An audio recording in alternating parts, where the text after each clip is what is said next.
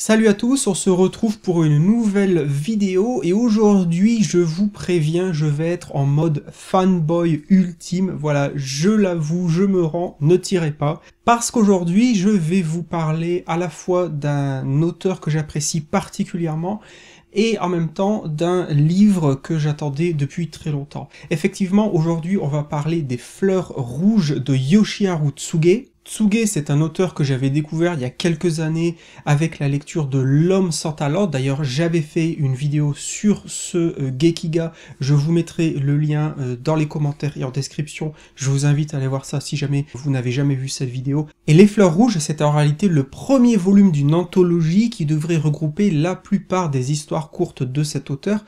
Histoire courte qui était parue à l'époque, donc dans les années 60-70, dans le fameux magazine Garo.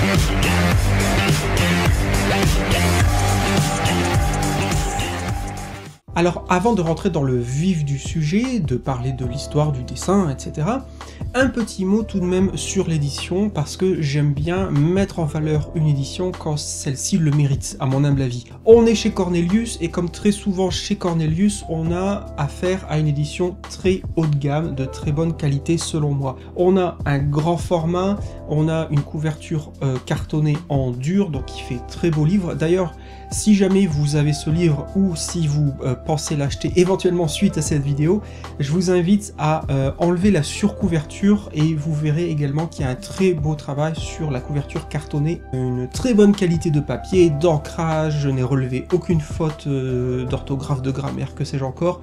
On a un marque-page, bref, de quoi faire un très beau livre déjà dans votre Mangatech. Le livre regroupe une douzaine d'histoires et chose intéressante et bien vue de la part euh, de l'éditeur, puisqu'il s'agit d'une anthologie, ils ont rangé ces histoires dans l'ordre chronologique de parution à l'époque. C'est donc très intéressant puisque la première histoire a été publiée, euh, je crois, en mars 1967 et celle qui clôt l'ouvrage a été publiée en juin 1968, j'espère ne pas me tromper, je dis ça de tête, mais du coup, euh, comme je le disais, c'est très intéressant pour nous en tant que lecteurs parce que ça nous permet vraiment à la fois de vraiment de voyager dans le temps et de voir potentiellement comment l'auteur a évolué dans son style, dans ses choix scénaristiques, dans ses choix visuels, etc. etc. Alors je ne vais pas nécessairement rentrer euh, dans le détail de chaque histoire, déjà parce que la vidéo serait beaucoup trop longue, ça serait pas très intéressant, et puis surtout ça vous gâcherait la surprise de la lecture. Donc ce que je vais essayer de faire, c'est davantage de vous parler de l'auteur, de ce qu'il essayait de faire, de ce qu'il a fait, de ce qu'il a écrit, et de voir un peu quels sont euh, les thèmes euh, qu'il a abordés, les thèmes qu'il choisissait, et pourquoi, selon moi, ce premier volume euh, de cette anthologie eh doit véritablement, absolument faire partie de votre collection de livres. Yoshiharu Tsuge, comme certains d'entre vous le savent très certainement, c'est un auteur du, comment dire, de la branche, on va dire, euh, Gekiga. Alors le Gekiga, je ne vais pas revenir dessus, j'en ai longuement, beaucoup, souvent parlé sur la chaîne. Si vous ne savez toujours pas ce qu'est le Gekiga, je vous laisse euh, aller voir ça dans le détail, il y a plein de vidéos sur le sujet. Yoshiharu Tsuge, au-delà du Gekiga, il était aussi connu, ou il est connu, voire reconnu, pour avoir été un des rares auteurs à, euh, comment dire, avoir une spécificité, c'était celle du euh, Watakushi manga. Le Watakushi manga, c'est euh, traduit le manga du mois. Alors pas le manga du mois, mois de janvier, mois de février. Non, vous avez bien compris, le manga du, du mois, de la personne. C'est-à-dire le manga qui ne va pas hésiter à mettre l'auteur en scène, alors soit directement, soit indirectement, qui, le, manga qui ne va pas hésiter à, plutôt je devrais dire le Gekiga, pardonnez-moi, le Gekiga qui ne va pas hésiter à mettre les expériences réelles, les expériences de vie de l'auteur sur le papier. Pour vous donner un exemple très concret, dans cette anthologie, une des histoires mettra en scène un personnage qui va se rendre dans la campagne japonaise, un petit peu au milieu de nulle part, et qui va euh, s'aventurer euh, dans la nature, qui va découvrir une rivière, qui va rencontrer un autre personnage.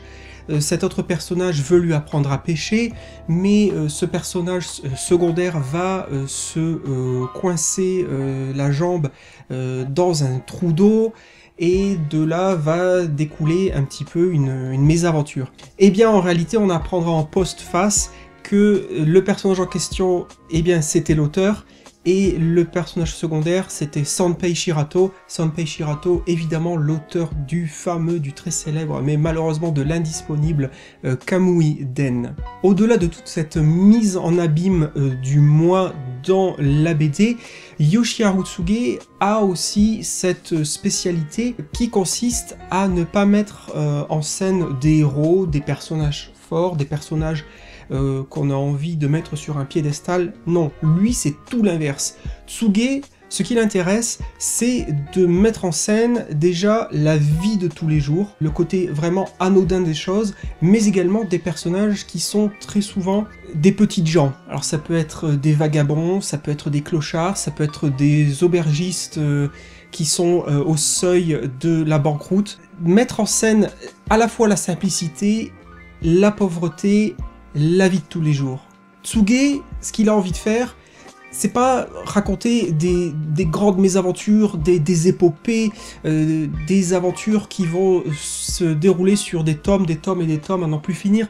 Lui, c'est simplement ce qu'il veut, je pense en tout cas très humblement, c'est mettre en scène l'instant, mettre en scène le moment, ce qui donne à toutes ces histoires un côté très intimiste. On a vraiment l'impression d'être le témoin tout simplement d'un moment volé, d'un moment illustré de la vie de quelques personnages lambda, ça peut être Monsieur Tout le Monde, Madame Tout le Monde, mais toujours dans un contexte très humble, et très très souvent ces histoires se passent, en tout cas ici dans cette anthologie, à la campagne. Il y a donc ici beaucoup d'éléments de ruralité, d'isolement, de pauvreté, d'oubli, d'éloignement de la société de consommation. On n'est pas ici dans une vision du Japon euh, citadin, euh, high-tech, euh, ce genre de choses. Pas du tout, on est vraiment aux antipodes de tout ça. Également, une chose que je voudrais mettre en lumière, c'est le fait que la plupart de ces histoires, euh, comme je le disais précédemment, ce sont vraiment des moments, des instants. Donc ne vous attendez pas à avoir des histoires qui sont longues et des histoires qui ont des fins vraiment bien évidentes. Je peux tout à fait comprendre que ça peut rebuter certains lecteurs, c'est pour ça que je vous préviens, les histoires de Yoshiharu Tsuge, en tout cas dans cette anthologie, ce sont vraiment des histoires qui ont des fins très abruptes. L'histoire va se dérouler sur une dizaine de pages, 15 pages, 20 pages, 30 pages maximum, et puis ça s'arrête.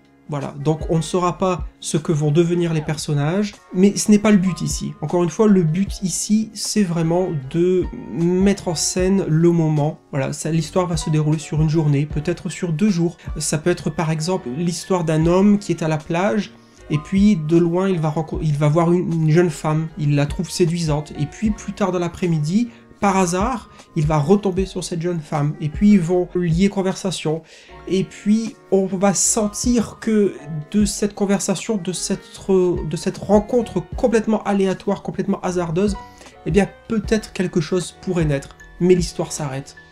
Voilà, alors je peux comprendre que ce soit frustrant pour certains lecteurs, mais personnellement ça ne me gêne absolument pas parce que je comprends, en tout cas humblement, je pense comprendre que c'est ça en fait le but de l'auteur. Il n'a pas envie de vous raconter l'histoire de ses personnages sur les 20 prochaines années.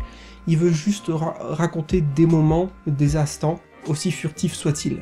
Pour ce qui est du dessin, là je conçois que c'est assez spécial, en tout cas, c'est ça évidemment, ça ne reflète pas du tout ce qu'est devenu le manga de nos jours. Donc je peux concevoir que ça rebute pour les euh, néophytes, mais je vous invite vraiment à essayer de dépasser cet aspect quelque peu vieillot, pourrait-on dire, parce que, voilà, prenez-moi au mot, je vous assure que le dessin je trouve, eh bien, correspond vraiment à cette, à cette ambiance que l'auteur arrive à créer. À aucun moment je ne suis gêné ou choqué par cet aspect quelque peu passé. Évidemment, euh, les dessins rappellent beaucoup euh, des choses telles que Shigeru Mizuki, ce qui n'est absolument pas une surprise puisque Tsuge a été l'assistant pendant plus d'un an de Mizuki, et vraiment il y a des moments c'est assez troublant de voir, par exemple sur le, les faciès, à quel point Tsuge s'est peut-être inspiré de Mizuki. Ça nous rappellera également Tatsumi, grand nom du Gekiga, donc si vous avez, si vous arrivez à adhérer à du Tatsumi, vous ne serez absolument pas dépaysé par du Tsuge. Toujours au niveau du dessin, je trouve que Tsuge a vraiment une force pareille à l'image d'un Mizuki lorsqu'il s'agit de mettre en scène les forces de la nature, lorsqu'il s'agit de dessiner des paysages. Une fois de plus, je ferai référence à cette histoire ici présente dans cette anthologie qui se passe sur la plage, où vous avez parfois des pleines pages, voire des doubles pages de la mer avec les vagues, les oiseaux dans le ciel. Il y a un côté très brut de décoffrage. Voilà, je pourrais euh, vous parler de cette anthologie vraiment pendant très longtemps parce que vous l'aurez compris, je suis vraiment très très friand de cet auteur. Euh, je trouve qu'on a une chance incroyable et je tiens à dire un grand grand merci à Cornelius de prendre le risque de publier de tels auteurs obscurs, voire oubliés ou vraiment totalement inconnus du grand public, même chez les lecteurs de manga. Je suis extrêmement impatient de lire la suite, d'avoir le volume 2 de cette anthologie. Je crois qu'aucune date n'a été annoncée, en tout cas je n'en ai, pas trouvé sur internet. Et aussi, j'ai vu passer une rumeur comme quoi Cornelius allait également publier les œuvres du frère de Yoshiharu Tsuge qui est Tadao Tsuge. Les quelques Gekiga de Tadao Tsuge sont disponibles, pas tous mais certains en anglais. Je pourrais les lire en anglais mais je préfère, j'ai l'habitude de lire mes mangas, mes Gekiga en français donc je vais attendre cette hypothétique traduction française. Donc si quelqu'un de Cornelius regarde cette vidéo, par pitié, si vous pourriez me confirmer que cette rumeur est fondée, si c'est vrai que vous allez publier les œuvres de Tadao Tsuge, voilà, je vais m'arrêter là parce que je ne veux vraiment pas vous gâcher la surprise de cette lecture. Très sincèrement, je ne peux que vous inviter, vous encourager. Si vous êtes rebuté par le style de dessin, si vous êtes rebuté par le fait que ce soit des histoires, des histoires courtes, pitié, pitié, essayez de, dépasser ça. Et euh, je, serais vraiment très surpris que vous donniez votre chance aux euh, fleurs rouges et que malgré tout vous reveniez vers moi et dire non, c'était nul, à la limite, si vous ne voulez pas investir dans cette euh, anthologie, euh, vous pouvez vous procurer, ou si vous n'aimez pas les histoires courtes, procurez-vous euh, L'homme sans talent, qui est disponible à nouveau chez Atrabil, qui avait été édité à l'époque chez Ego Comics, mais qui en enfin, l'éditeur a mis la clé sous la porte, donc cette édition n'est plus disponible. Mais Atrabil a réédité L'homme sans talent, donc je vous invite à aller découvrir tout ça. Et je vous rappelle que je vous mettrai un lien vers ma vidéo concernant l'homme sans talent. Également, dans la description de cette vidéo, je vous mettrai un lien vers Amazon et un lien vers la FNAC si vous voulez vous procurer les fleurs rouges. Je vous dis un très grand merci, comme d'habitude, d'avoir regardé cette vidéo, d'être resté jusqu'au bout, si c'est le cas. Voilà, j'espère que vous allez bien, bien sûr, j'espère que vous faites de bonnes lectures en ce moment, j'espère que vous avez la santé parce que c'est le plus important. Et puis, euh, n'oubliez pas, comme d'habitude, restez curieux. Allez, ciao, à bientôt.